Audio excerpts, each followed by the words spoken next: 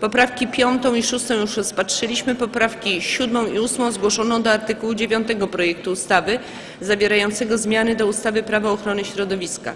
W siódmej poprawce do artykułu 286 ustawy wnioskodawcy proponują nowe brzmienie ustępu 1. Komisja wnosi o odrzucenie tej poprawki. Przystępujemy do głosowania. Kto z pań i panów posłów jest za przyjęciem siódmej poprawki, zechce podnieść rękę i nacisnąć przycisk. Dziękuję. Kto jest przeciw? Dziękuję. Kto się wstrzymał? Dziękuję.